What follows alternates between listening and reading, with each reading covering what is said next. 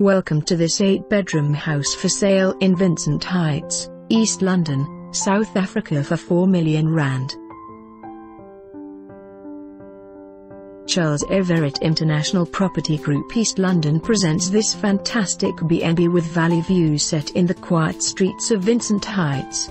This home consists of 8 bedrooms, 9 bathrooms, 2 en-suites and dining room.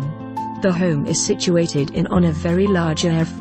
This home ideal for relaxing after a long day at the office next to the trickling water of the pond.